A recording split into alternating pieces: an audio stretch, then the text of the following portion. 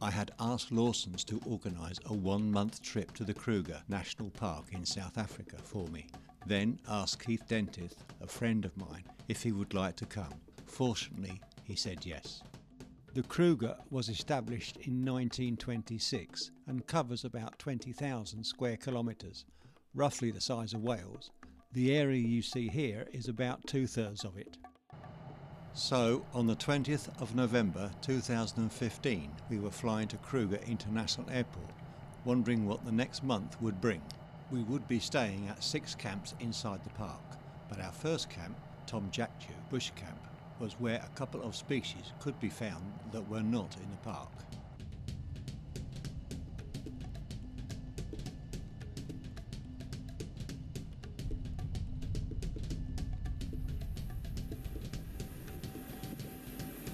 On arriving, we were met by Lindell from Lawson's, who had organised our car and one or two other goodies. So, with our maps, we set off to our first camp. Keith had volunteered to do most of the driving. We soon found ourselves arriving at Tom Jacatu Bush Camp. It is privately owned, and the food, we would find out later, was excellent. Keith soon started making lists of species he really must see. About four o'clock that afternoon, we found ourselves on our first of three game drives we would have while we were there.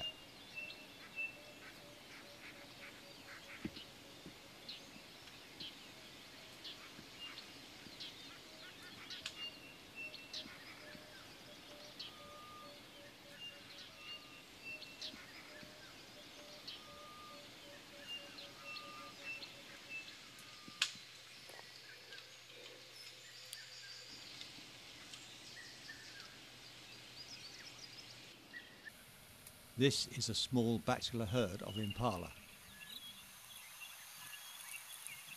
These two practicing for the real thing.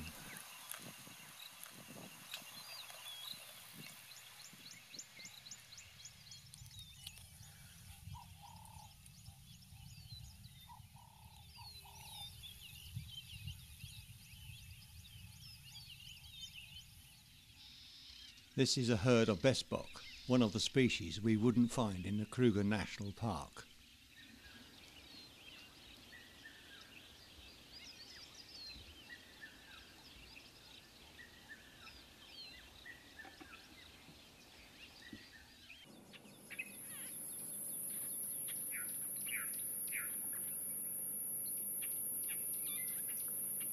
The mountain reedbuck is the other species that we wouldn't find in the Kruger National Park.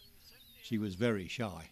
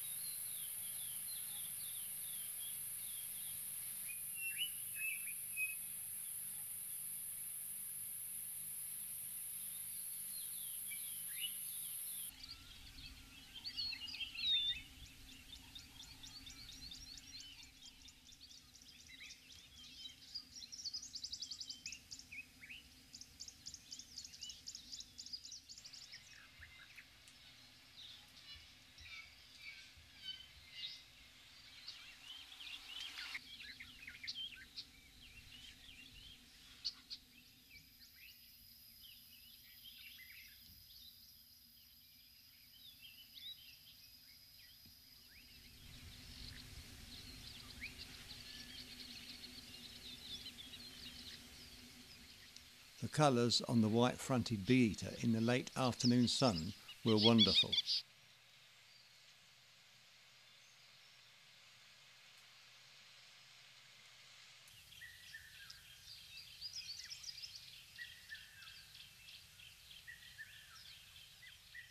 This yellow-throated longclaw has caught a young snake and doesn't quite know what to do with it.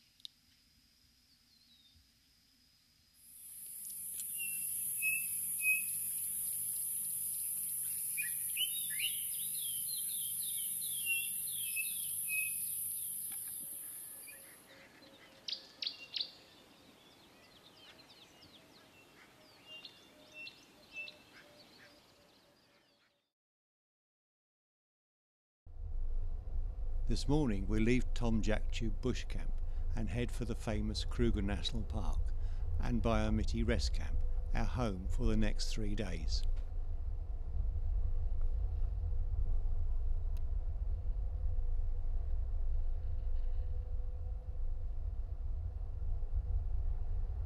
About a mile from Malelane Gate, we cross the Crocodile River, well worth a stop.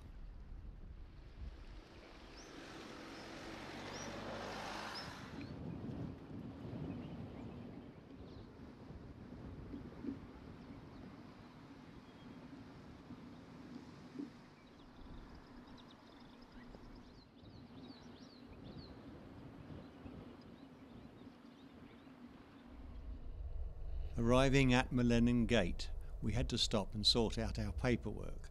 Again, Lawson's did us proud. Everything went well, and we were soon on our way.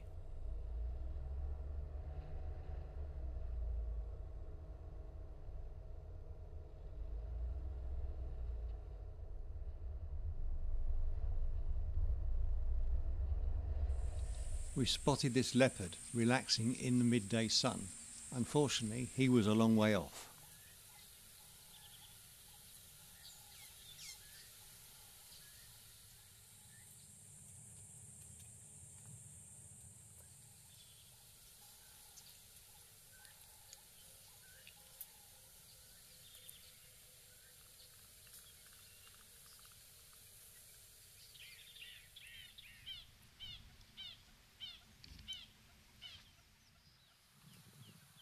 Arriving at Biyamiti Bush Camp, we booked in and it didn't take long to sort ourselves out.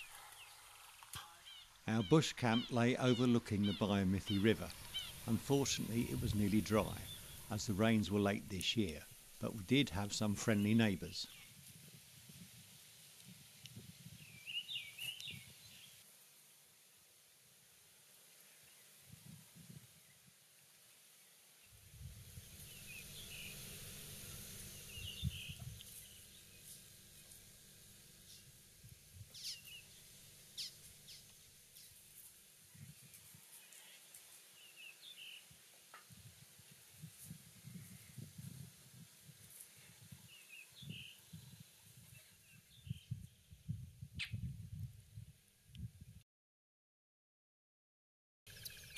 Day we were up and away early, about half past four, wondering what the day would bring.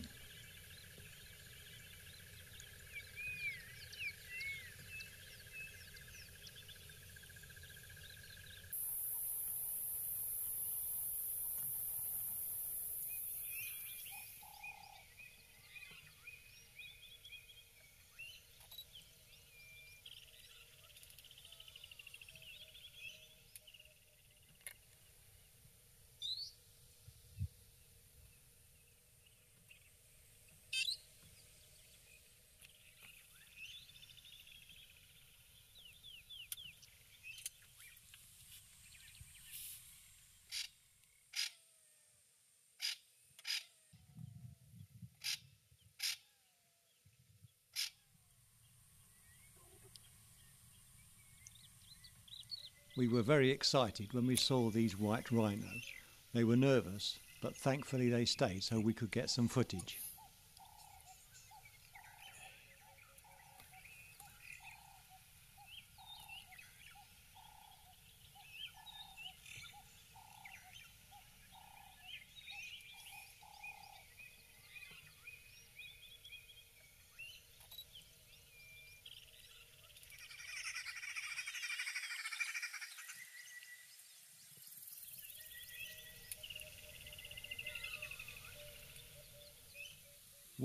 In a dried up riverbed.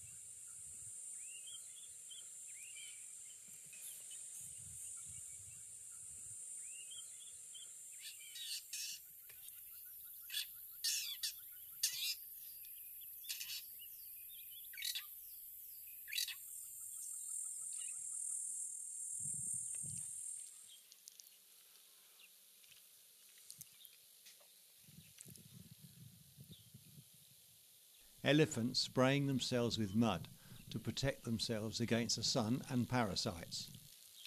This is tree damage done by elephants. They kill the tree for just a few leaves.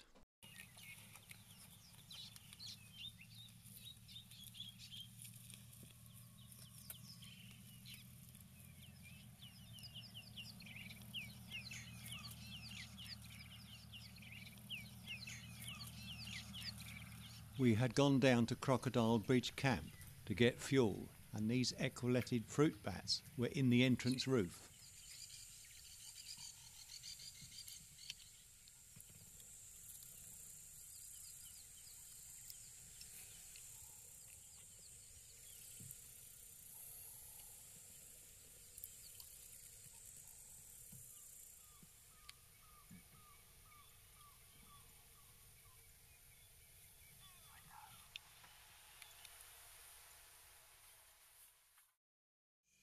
Later in the evening, we went on a guided night drive and were very pleased we did.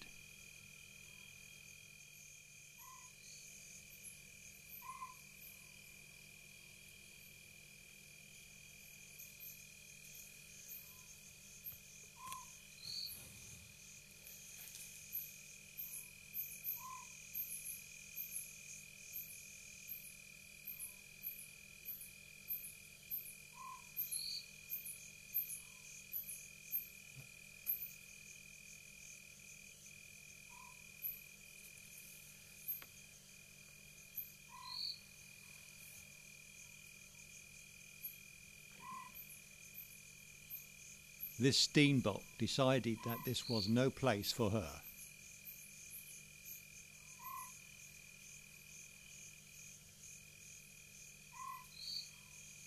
This female leopard cub giving her brother a good clean.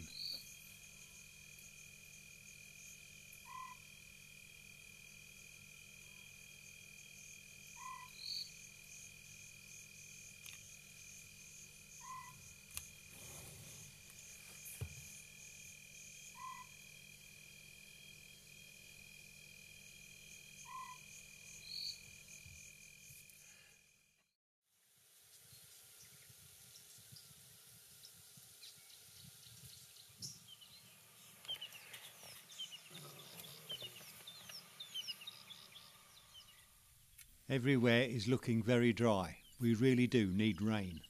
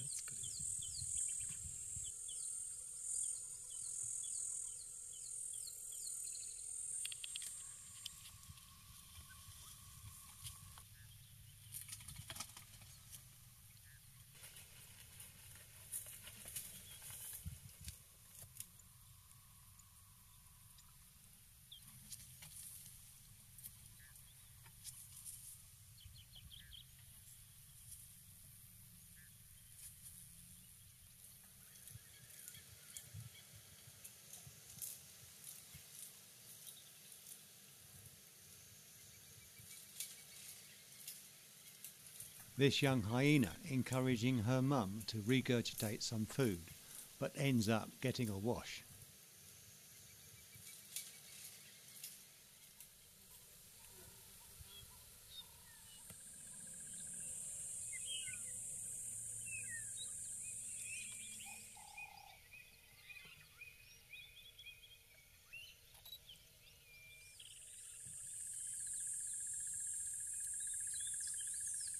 These dwarf mongoose have a territory of about half a square kilometre and scent mark it using their anal gland.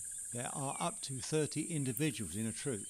There is one dominant pair that have up to three young and they stay underground for two to three weeks.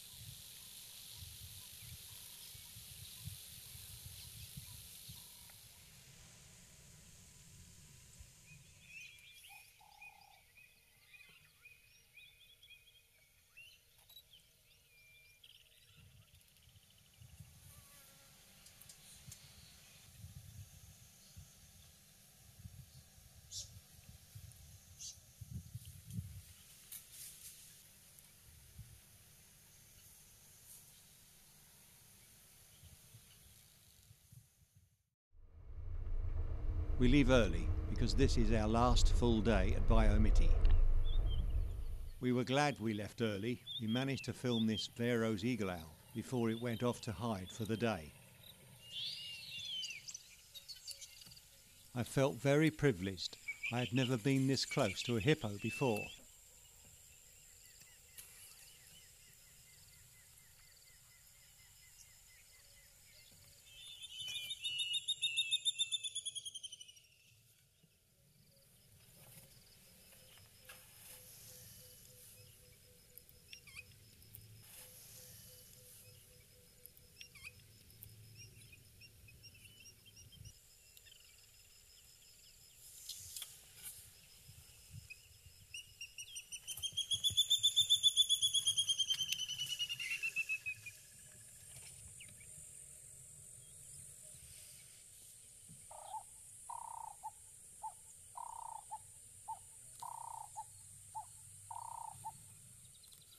These young lion cubs are waiting for mum to bring them some food. In the meantime, one is trying to eat a leopard tortoise without much luck so far.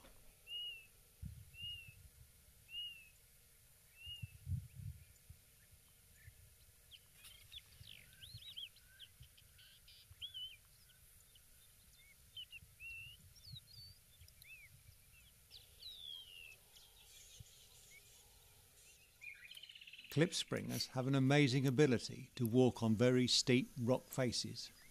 They have specially adapted hind hooves that have four points of contact.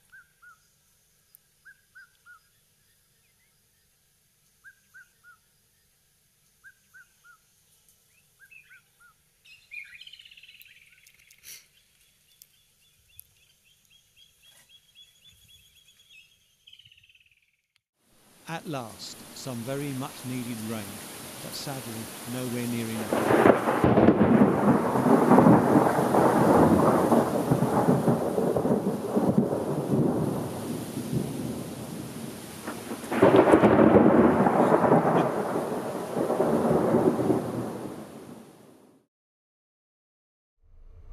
We leave our Biyamiti camp for the last time and slowly make our way to Lower Sabi, our next camp, and hopefully see lots of things on the way.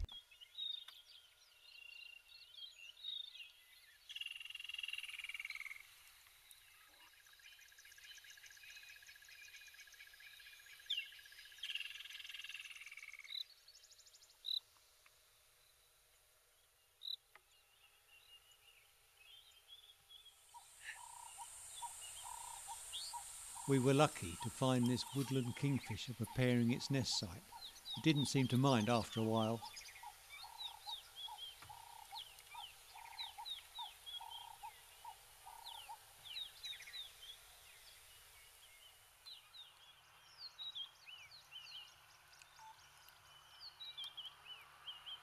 This communal spider's nest may contain many hundreds of individuals and can get very large. This one is quite small.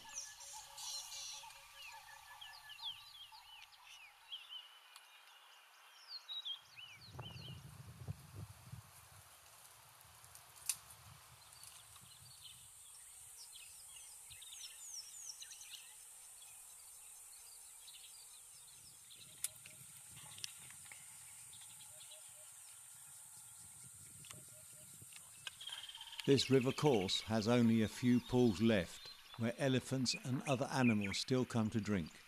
We badly need rain.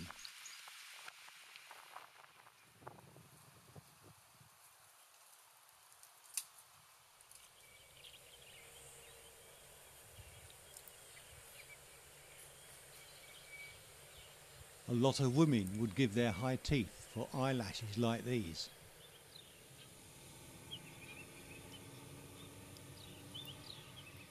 The building in the background is our restaurant at Lower Sabi on the southern bank of the River Sabi, the most biologically diverse river in South Africa.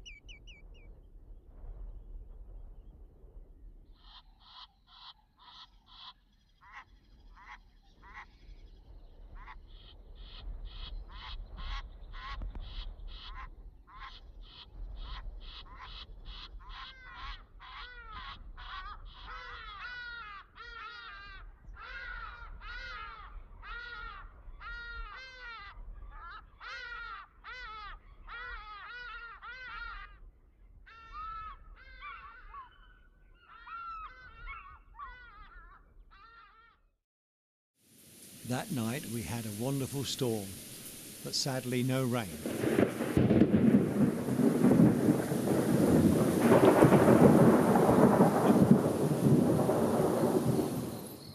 Then we saw that it had started a fire in the dried grass quite a long way off.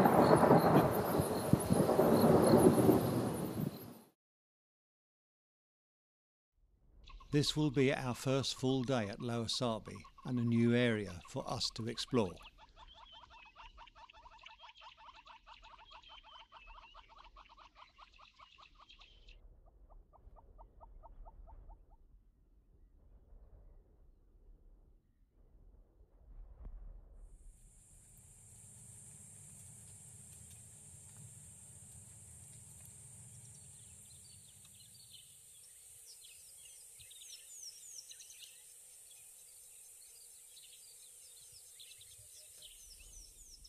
Seeing this leopard active during the day was a nice surprise.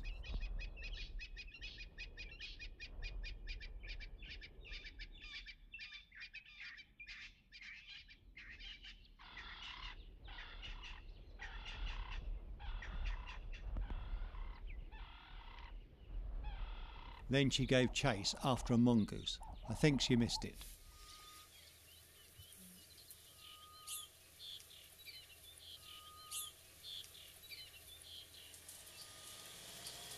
This shows you just how easy it is for these huge animals to destroy a tree.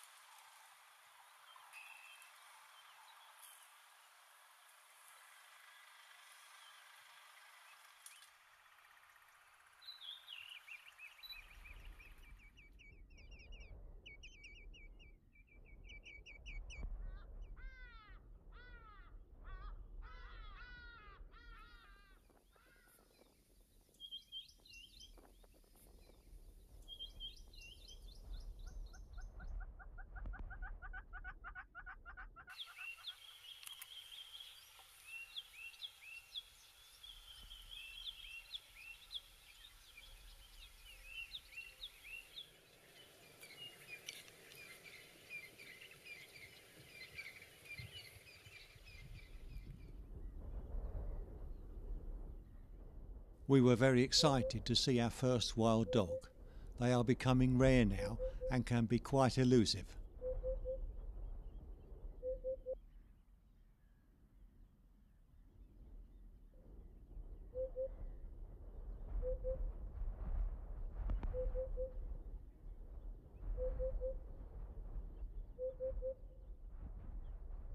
This tawny eagle has just finished a large meal. You can tell by its bulging crop.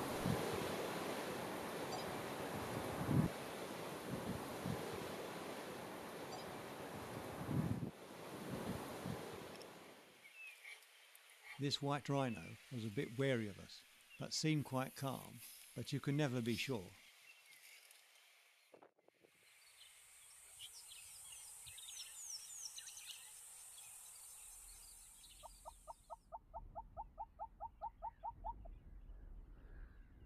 We think this is where we saw grass burning due to the lightning last night.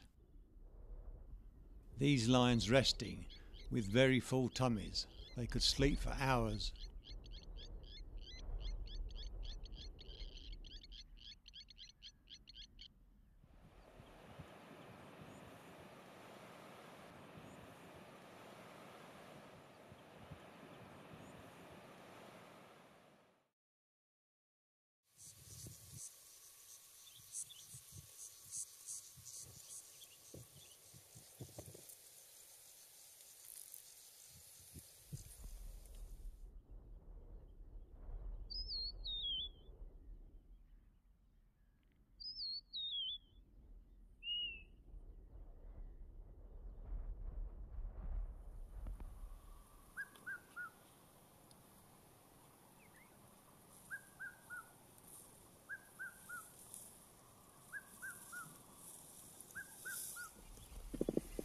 This huge male lion came right up to the car, walked round it and across the road in front of us.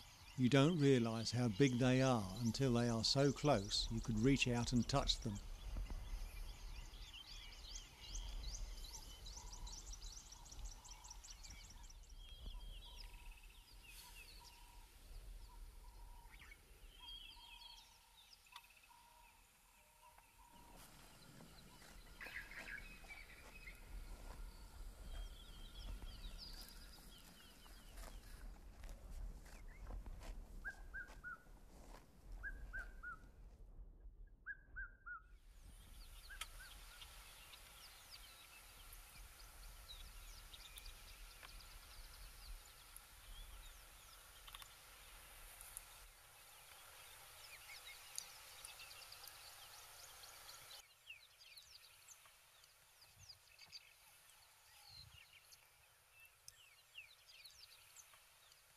These two male lions preparing to attack a herd of buffalo.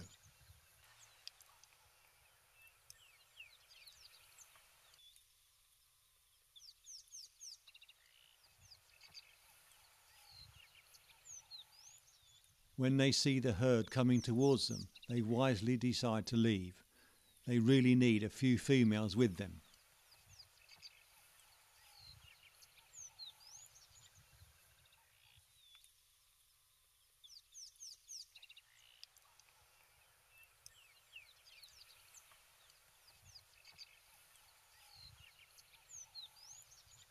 Ah well, perhaps next time.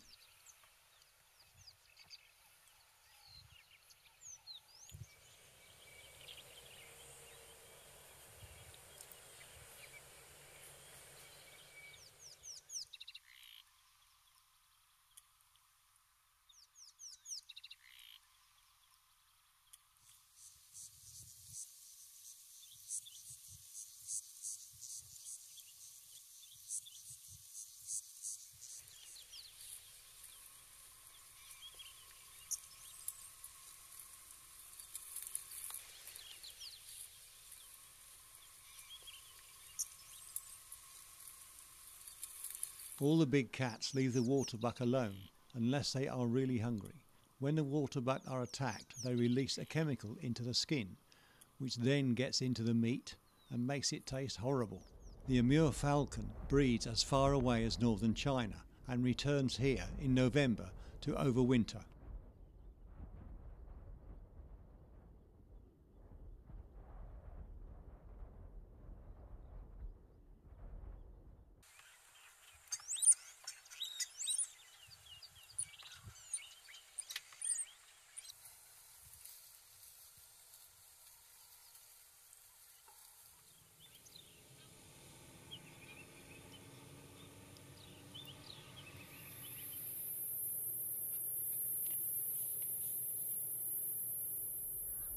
A quick look at the Sabi River as we head back to camp. There is always something interesting to see.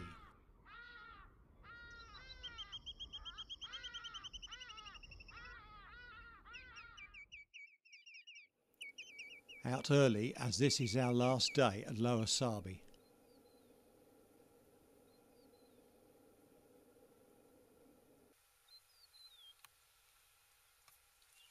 This family of Chacma baboons out getting breakfast.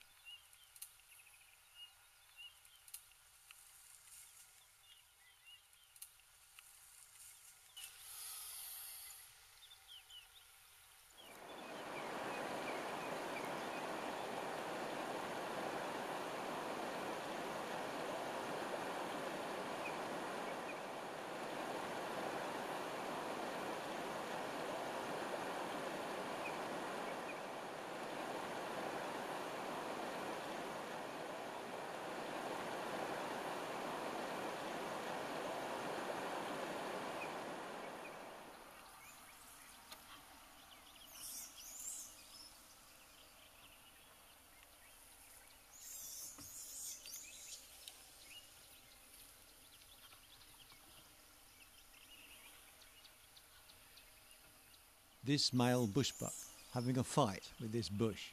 He seems quite chuffed when he wins.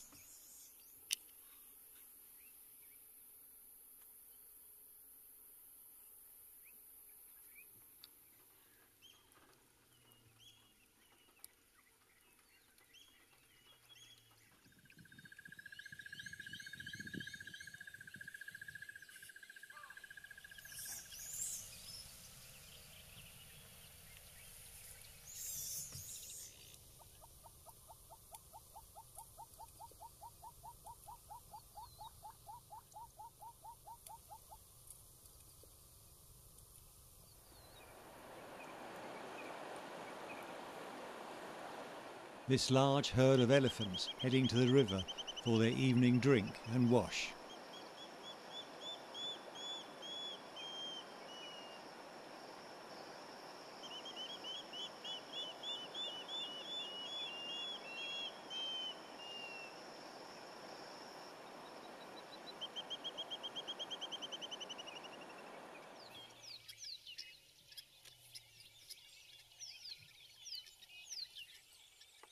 Heading back to Lower Sabi camp for the last time, I could not resist this scene.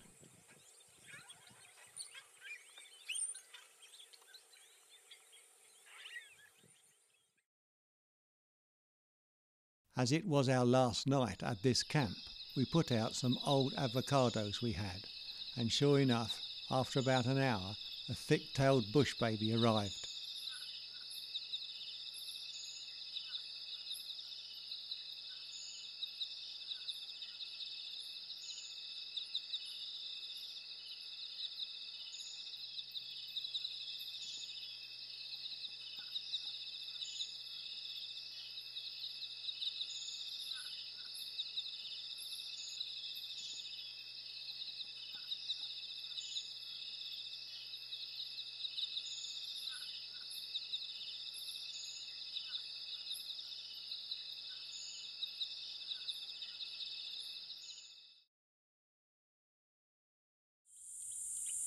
We leave early for our next camp, Satara, but couldn't resist one more look at the River Sabi, and we weren't disappointed.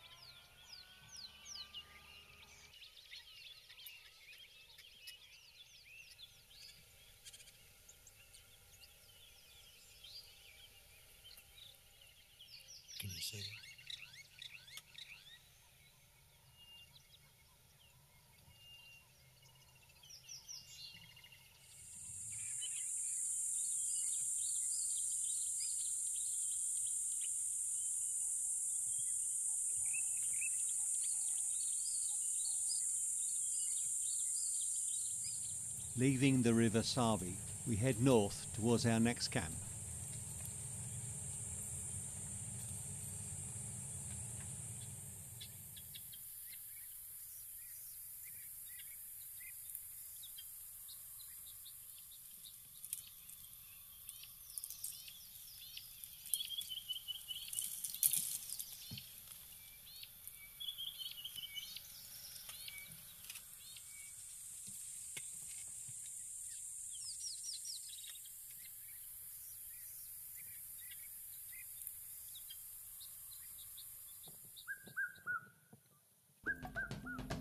we came across a pack of wild dogs.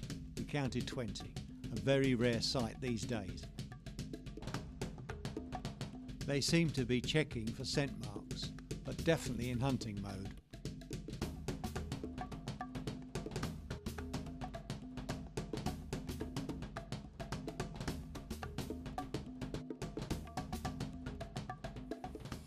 After following the pack for some time, we saw a large herd of buffalo about 150. So that is what the dogs were after.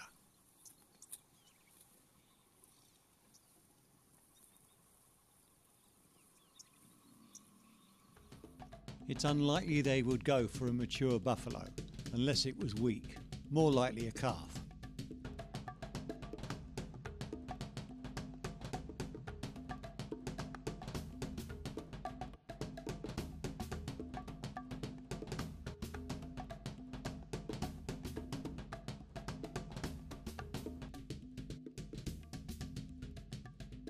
Followed them for a long while, wondering when they would strike.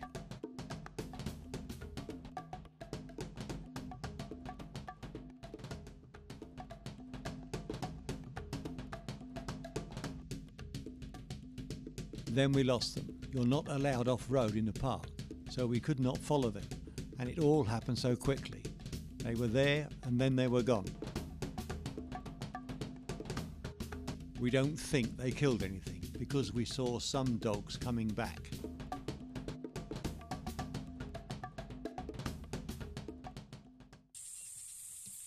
This bushbuck hears a monitor lizard moving behind her.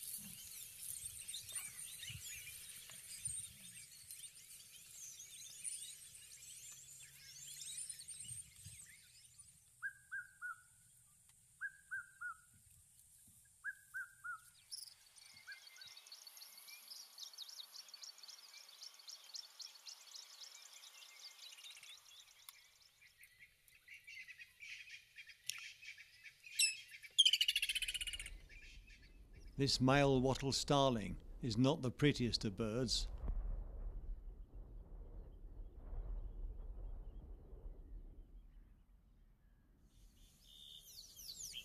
Unless this poor hippo can find more water, he will die from overexposure.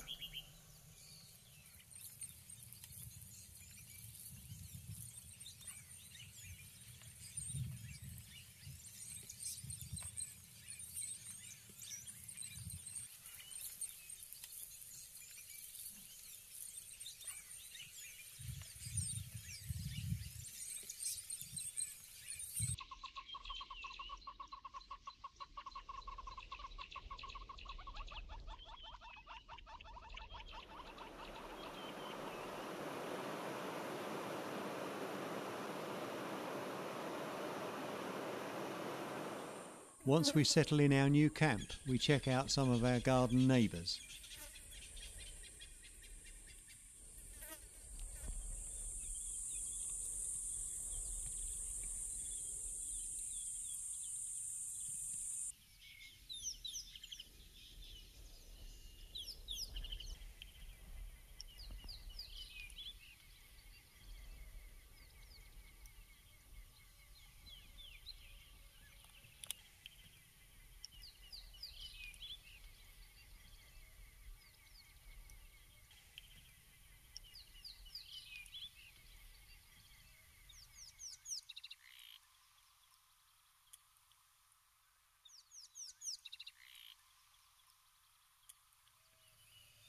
This woodland kingfisher has caught a free-tailed bat.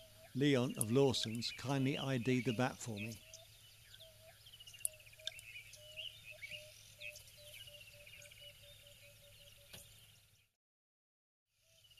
Away again early, looking forward to what we might see in the Satara area.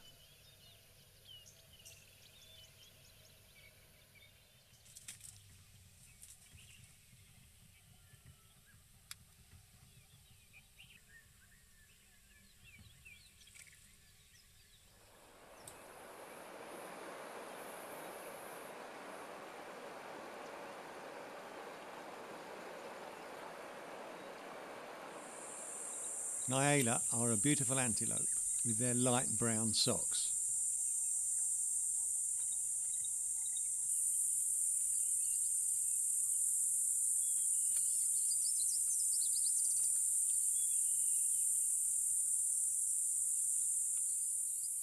This hyena looks as though she has just had breakfast.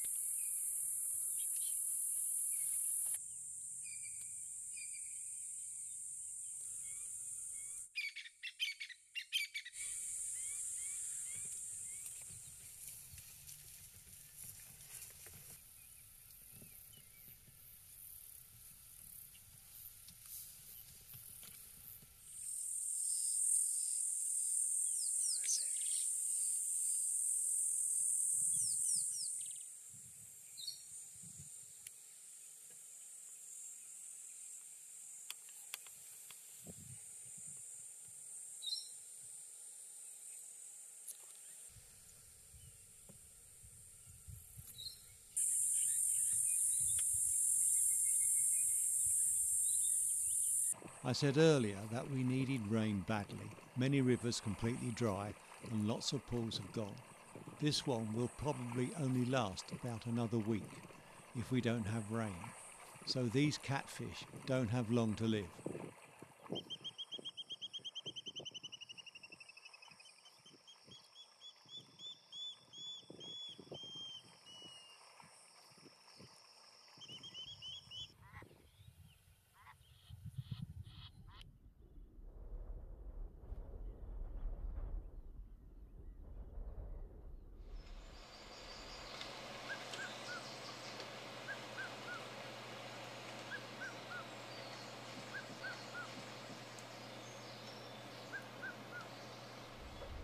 We head back to camp for lunch and then check out our garden neighbours.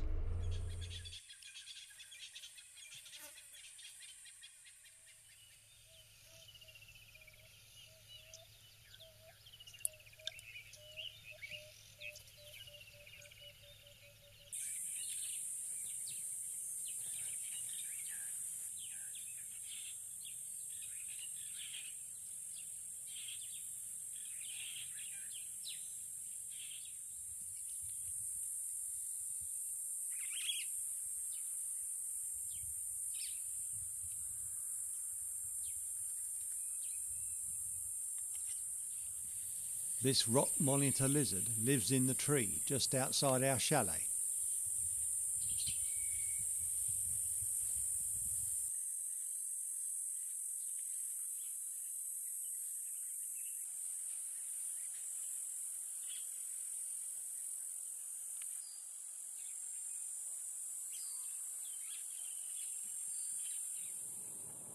We head out about four o'clock. It is very hot.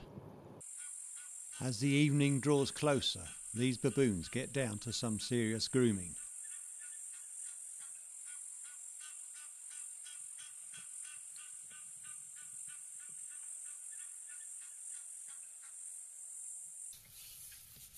This poor leopard struggling with the heat. It is about 38 degrees.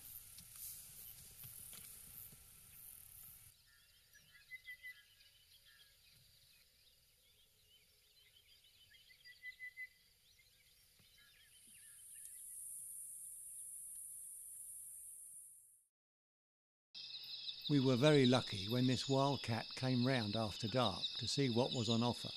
These cats are very shy and very difficult to find being nocturnal.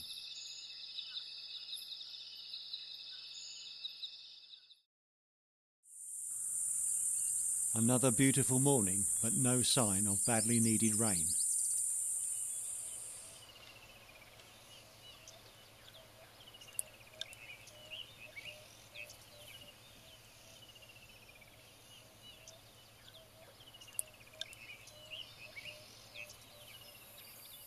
The Oribi are quite scarce and very shy. Unfortunately, this pair were a long way off. Shouldn't complain though, we were very lucky to see them at all.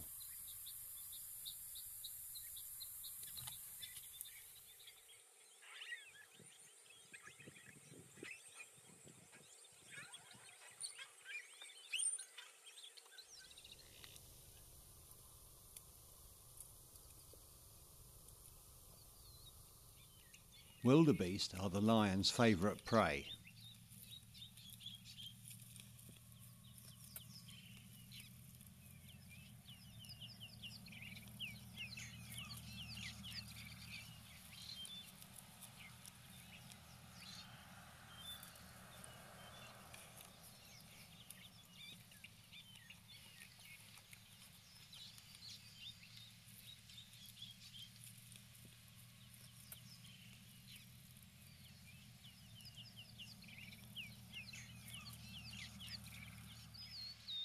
This honey badger, out hunting to feed its family.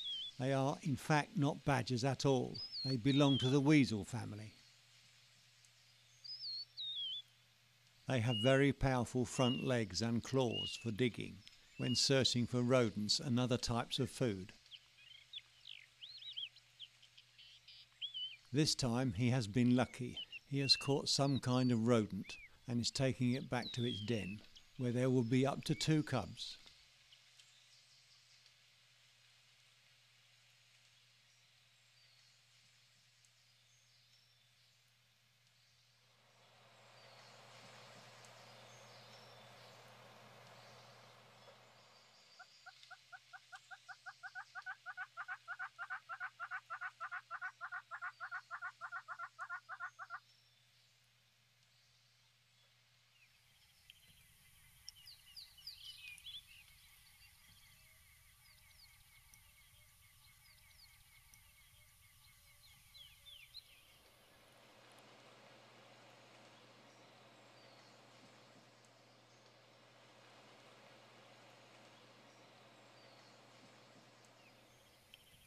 This male leopard trying to keep cool in the late afternoon heat. It is now about 35 degrees. Notice the porcupine needle stuck in his throat. If it turns infectious, it may eventually kill him. Let's hope not.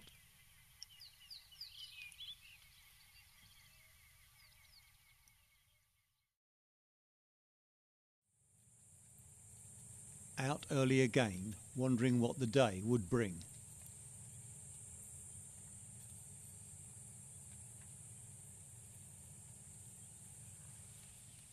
This area is known for having very pale lions and we were lucky enough to find this magnificent male.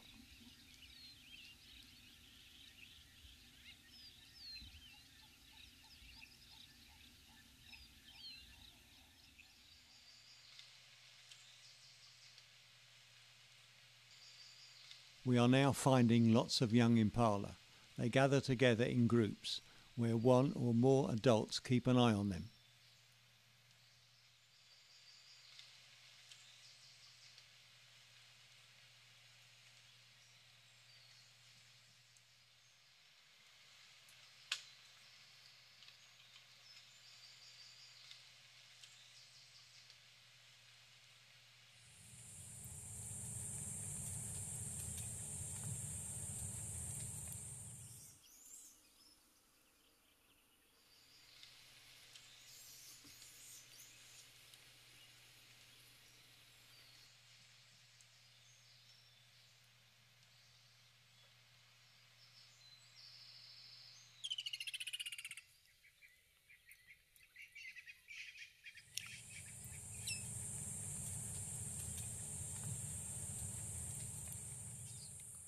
Another dried up riverbed.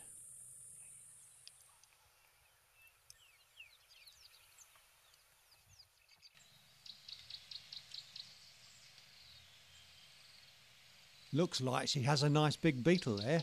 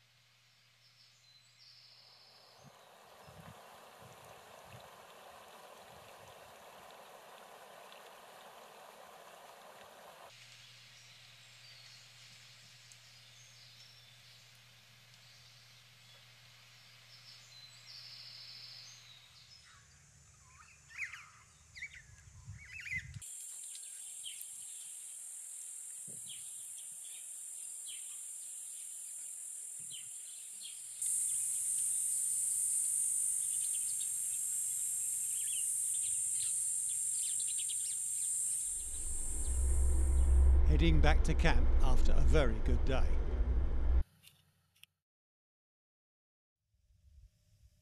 Another beautiful morning, still no rain though,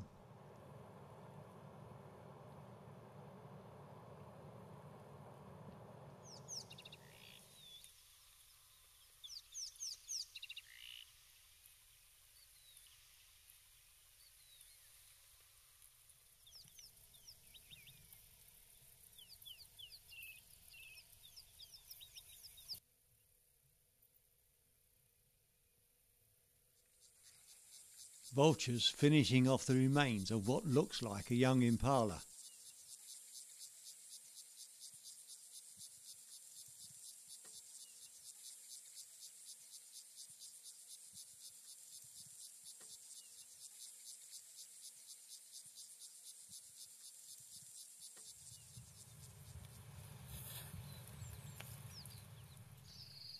We came across a lion kill. They'd obviously had their fill and this male was trying to protect the remains of their young elephant.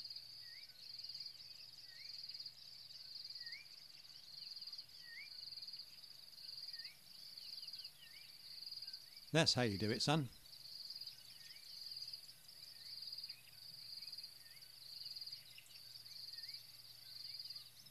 As the lions try and snooze in the afternoon heat, vultures and jackals are trying to pinch some of the kill.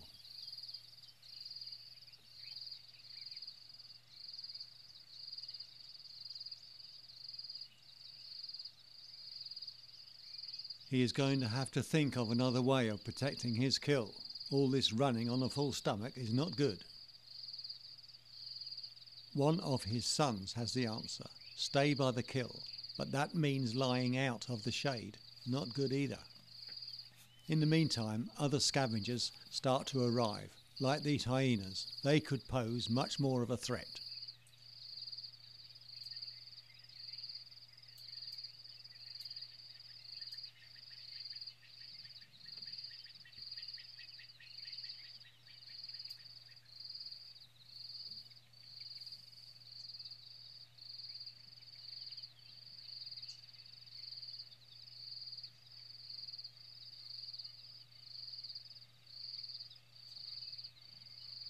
Another one of his sons decide to eat some more. Unfortunately, we have to be back in camp by 6:30, so we must leave, but we will return first thing in the morning to see how they get on.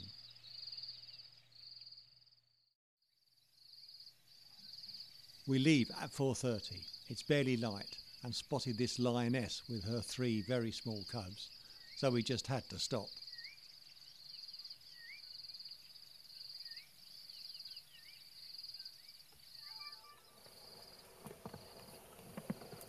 When we arrived at the lion kill, we were pleasantly surprised to find the lion still in control.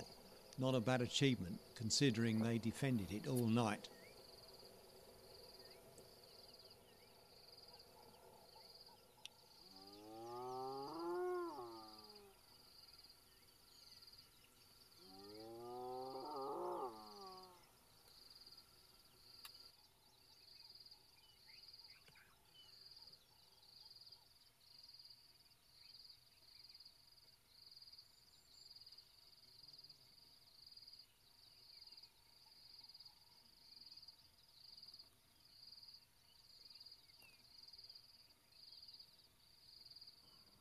All the usual suspects were still there, but in greater numbers.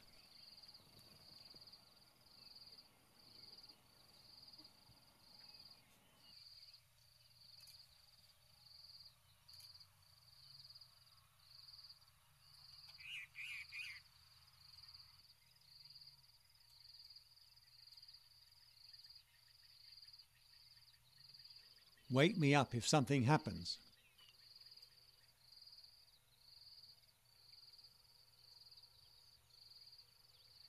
In the end, the big male lion decides to move the carcass closer to the shade.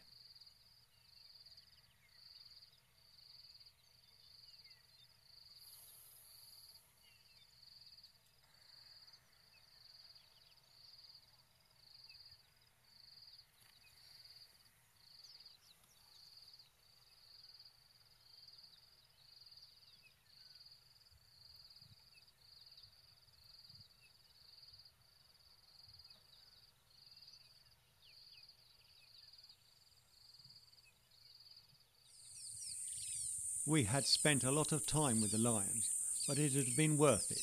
But now, time to move on and look for other things.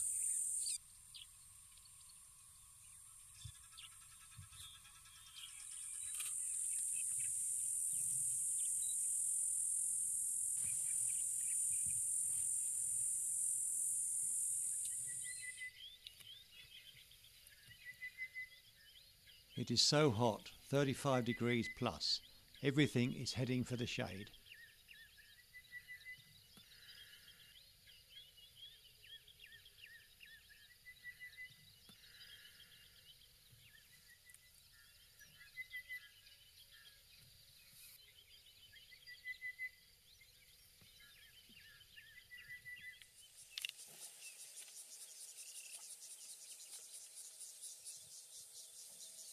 Can't beat a nice dung beetle.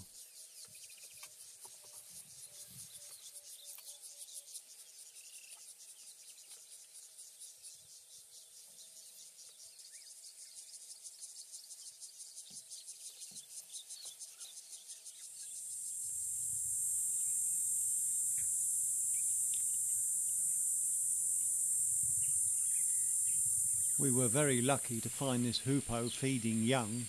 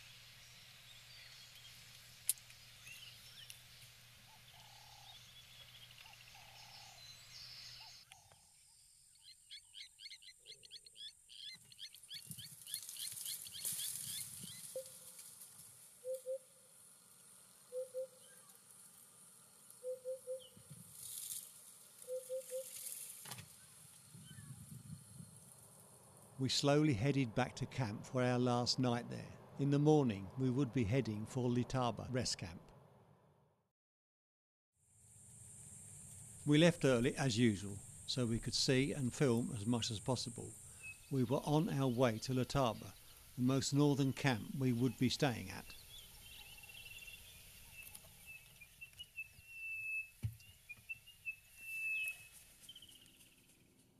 We were lucky with these klipspringers. They are normally very shy and nervous, but this pair were quite relaxed.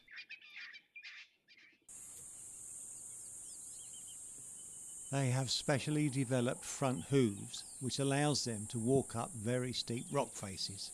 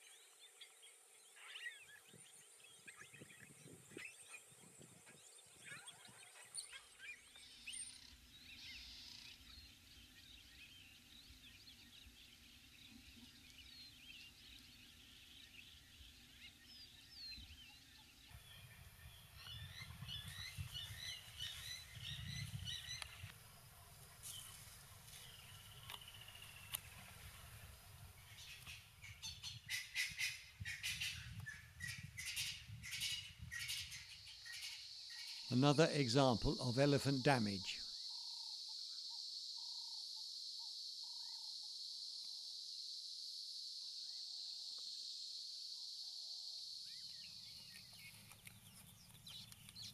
A view of the river Letaba, which is where our new camp gets its name from.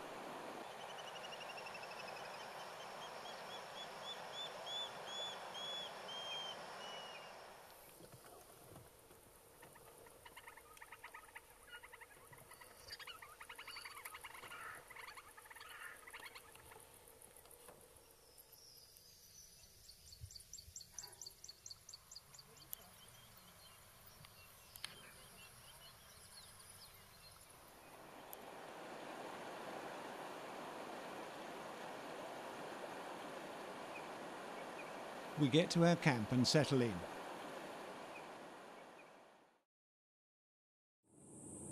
Out early as usual, as we have a whole new area to explore.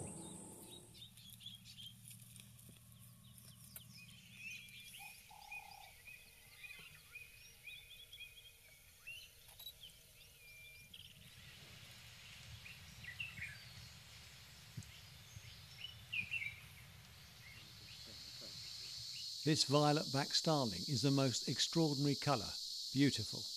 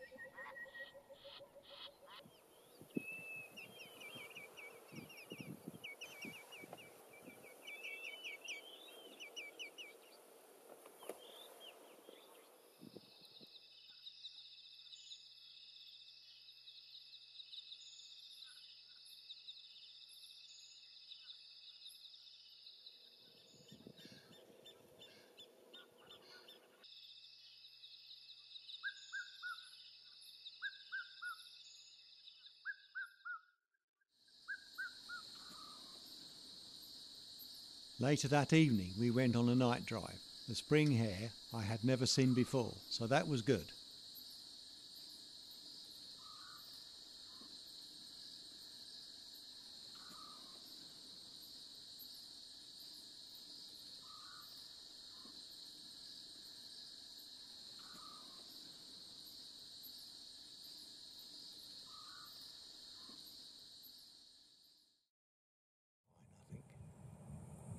We left early in the morning, and only after a mile or two we discovered these hyenas playing outside their den. Lovely to watch.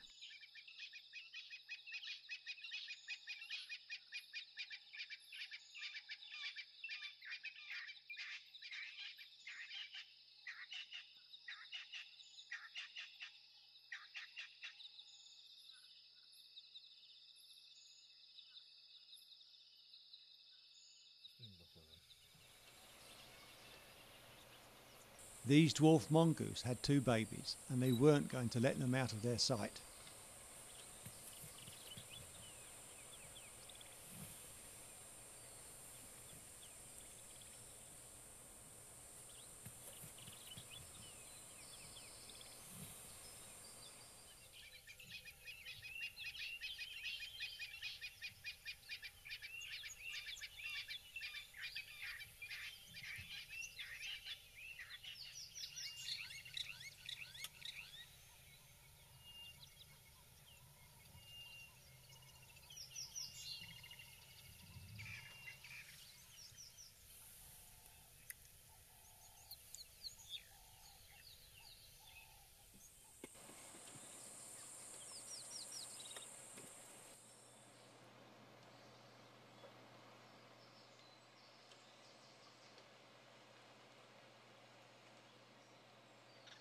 Back at camp in the late afternoon, we got to see some of our neighbours.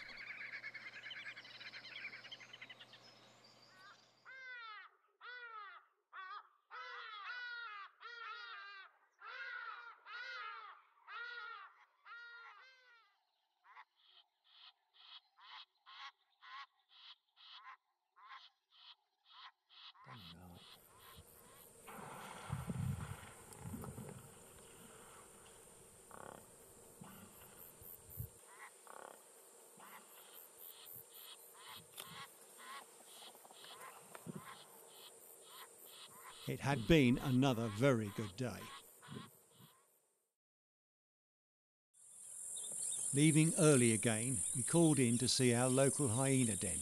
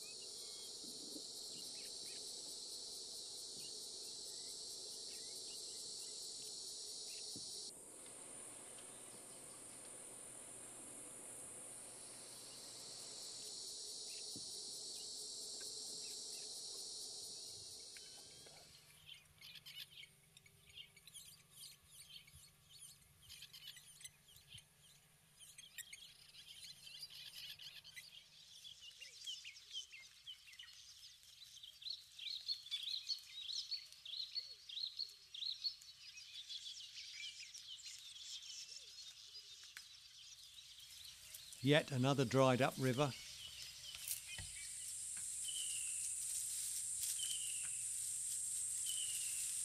This was the end of our last day at Letaba, and we had seen some lovely things. Tomorrow we set off for Olifants Rest Camp, a few miles south. Today we're off to Olifants. It wasn't that far, so we called in at the local viewpoint, and still being early in the morning, the light was lovely.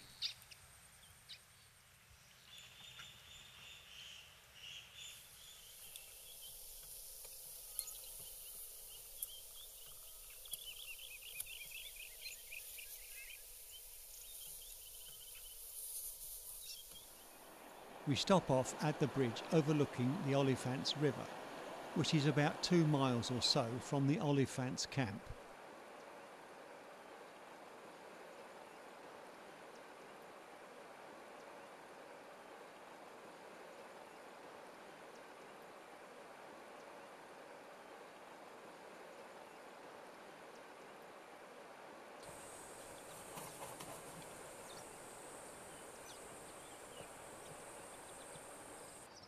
We were very lucky.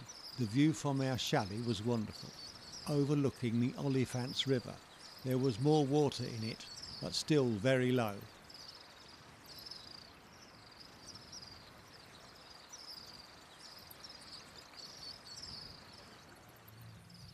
We headed out to explore this new area. This African hawk eagle had just presented his female with this unfortunate tree squirrel.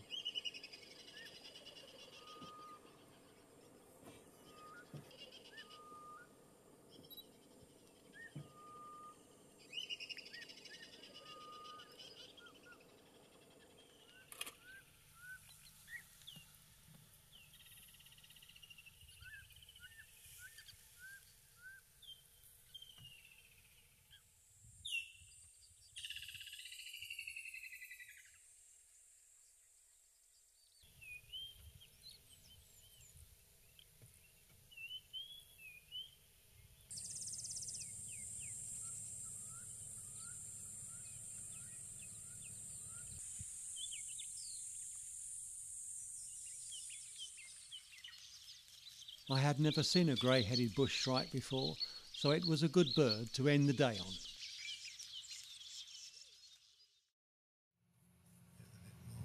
We headed out early towards the river to see what we could find. The early morning light was just beautiful.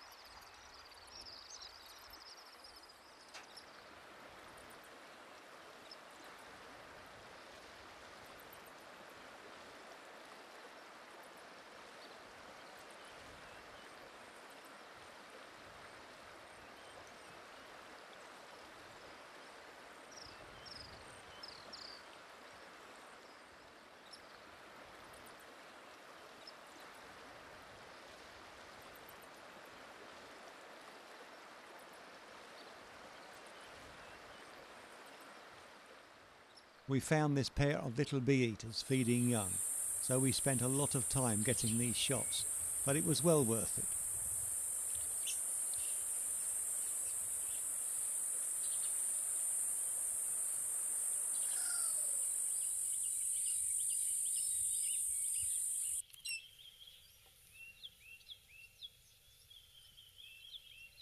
You can see on this klipspringer the hind hooves have four points of contact helping them climb steep rocky slopes. The end of another very good day.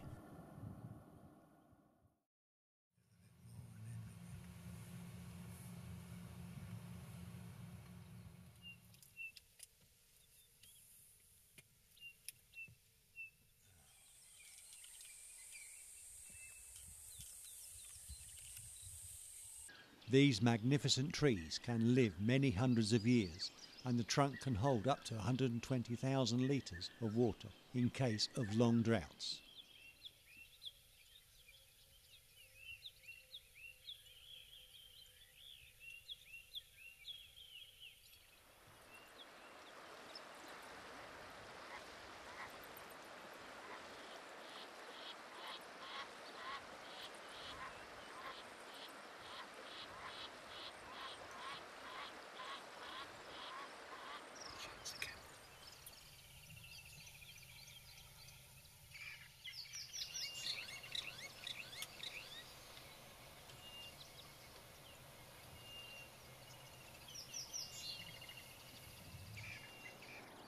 On our way back to the camp, we called at the river to see who was there.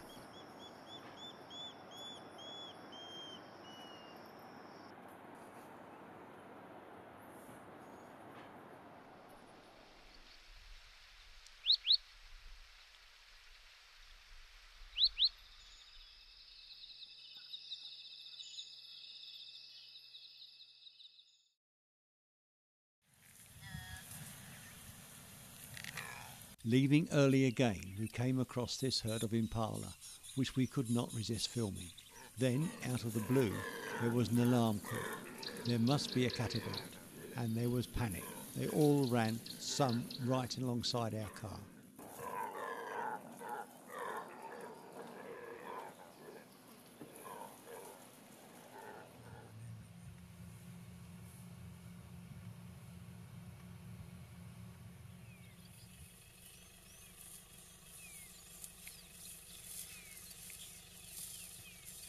One of the reasons elephants have developed large ears is to help keep them cool. On the underside there are a mass of very large veins, so in fact the whole area is used for cooling the blood.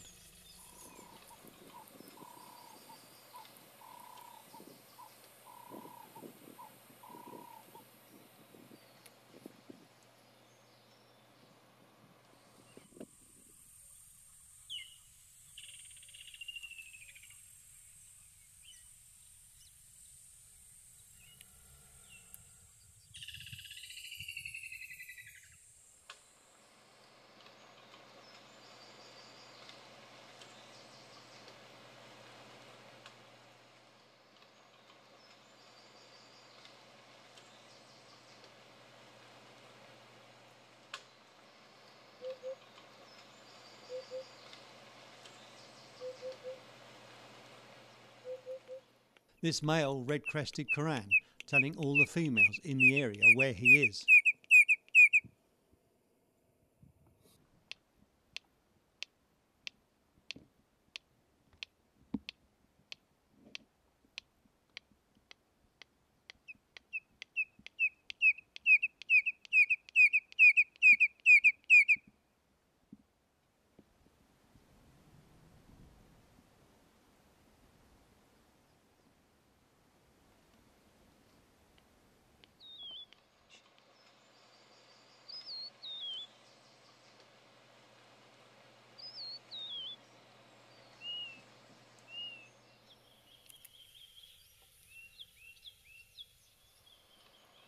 These southern ground hornbills settling down for the night in the relative safety of a tree.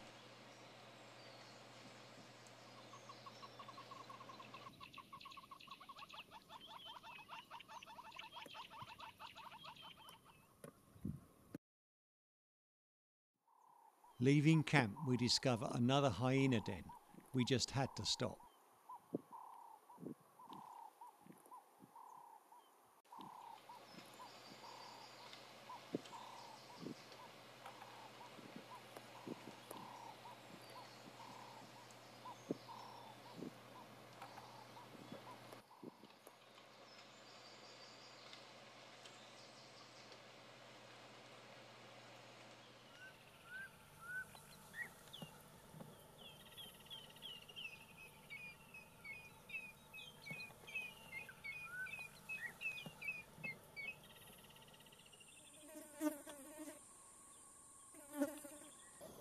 This baby giraffe is probably only two or three days old.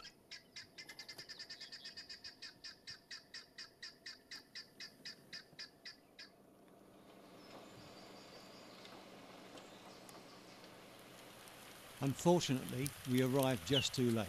A cheetah had killed the impala. The lion saw it and chased off the cheetah. Then this female played with it, just like our cats play with their dead mice.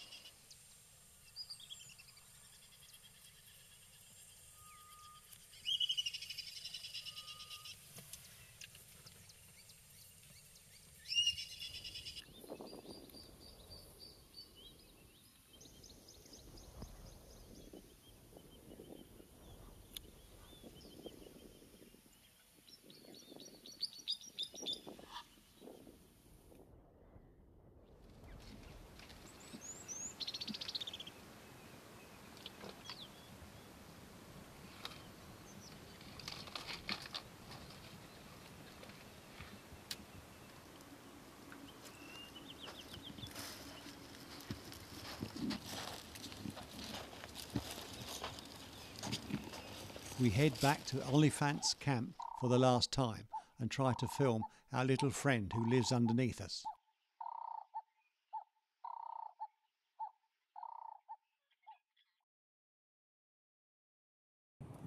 We're heading for Skukuza, sadly our last camp. Early morning in the baboon household, some are having a lie-in.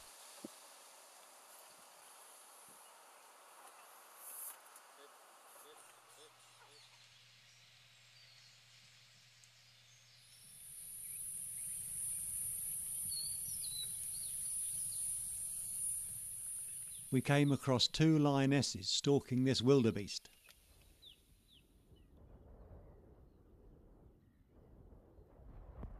Unfortunately for them, the wildebeest has spotted them.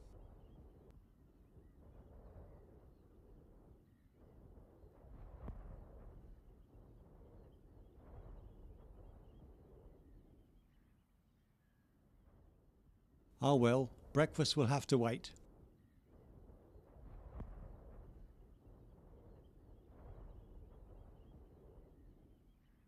Disappointed, they wander off and have a play.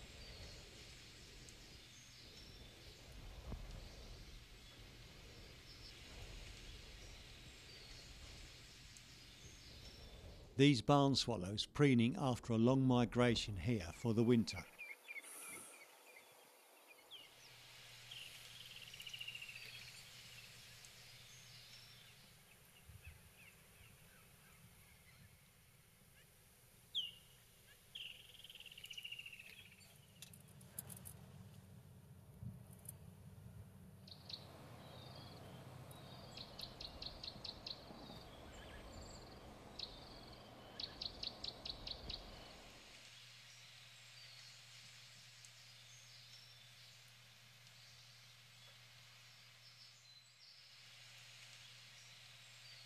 Wait for me.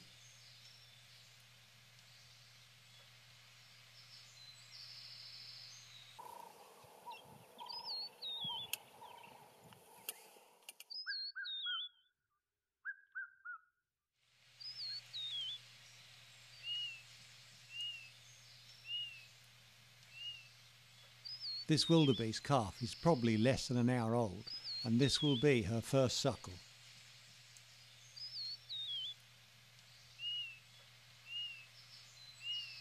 Looks like there's been a lion kill with all these vultures hanging around. Sure enough, we came across these two with full tummies and in need of a wash.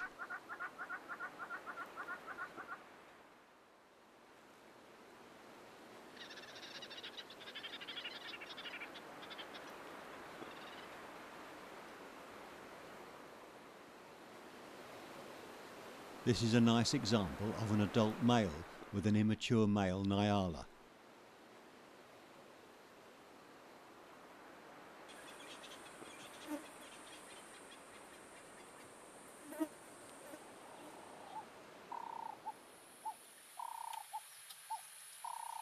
This plaque shows the three founding fathers of the park. James Stevenson Hamilton became the first warden in 1902. The locals called him Skukuza, meaning he who sweeps clean. Then Paul Kruger, and on the right, Pierre Grobler, Minister of the Interior. We were up early again and off to Lake Panic to see what we could find.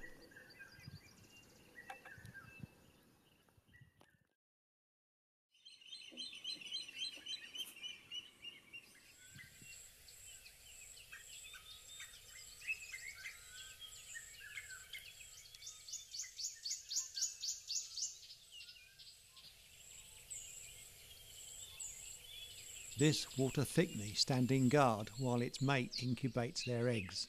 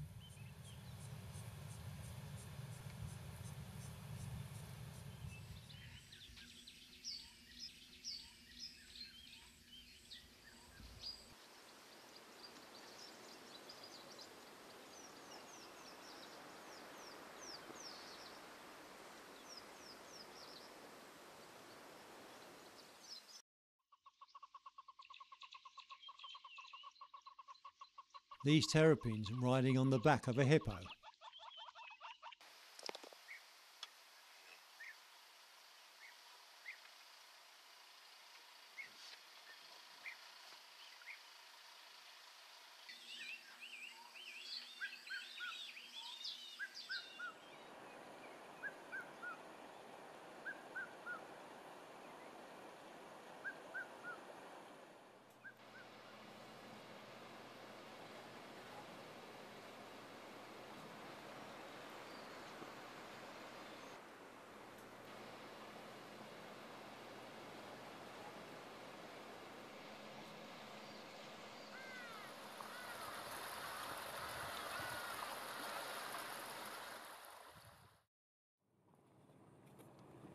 Our last full day in the Kruger, so to see these white rhino was a nice start to the day.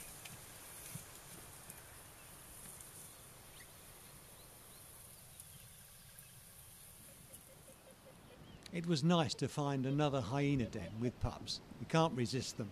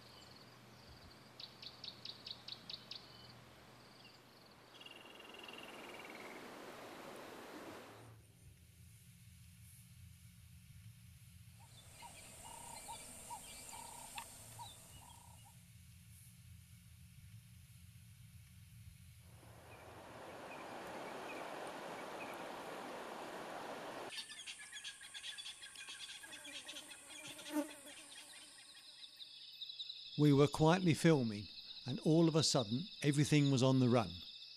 Then we spotted it, a leopard chasing something. We couldn't see what though. In the end, the female leopard gave up and then just wandered off.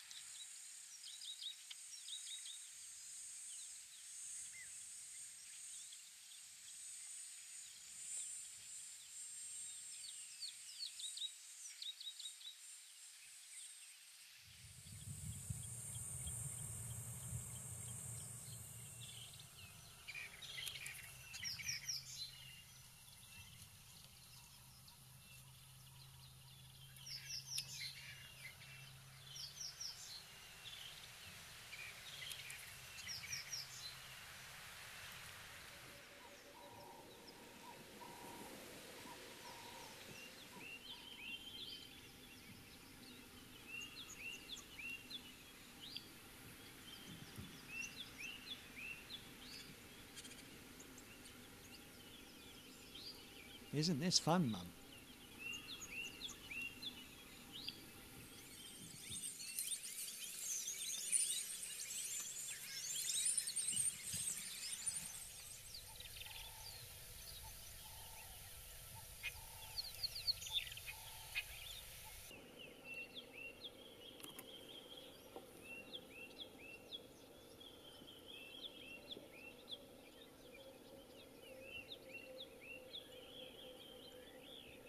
Mum keeping an eye on her little one as he practices the art of climbing.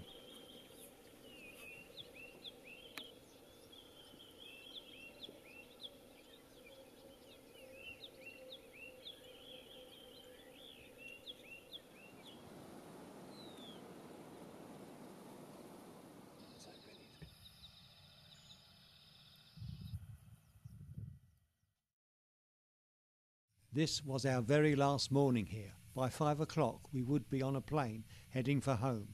We had had a wonderful time and seen many beautiful things, but there was one animal that we really wanted to see the sable. We had been told there may be some around Numbi Gate area, so that was where we were heading. Of course, we had to stop for these lions,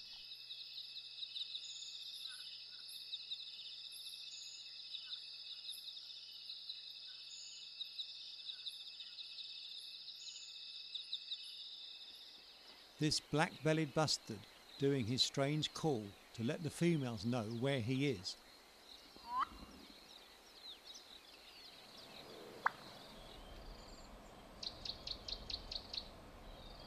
We drove around the area looking for sable. We did see many nice things, but no sable.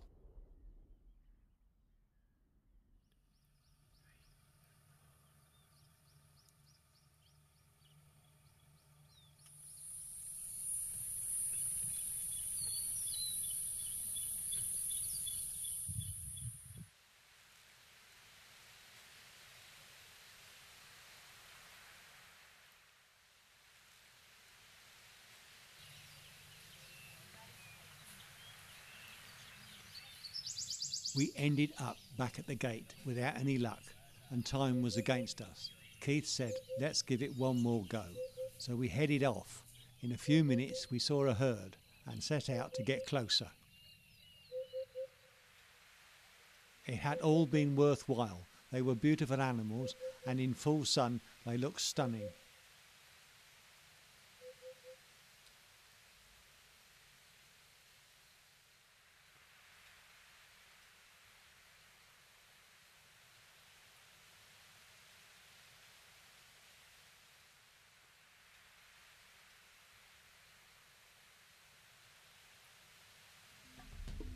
All we have to do now is say goodbye to the Kruger National Park and get to the airport.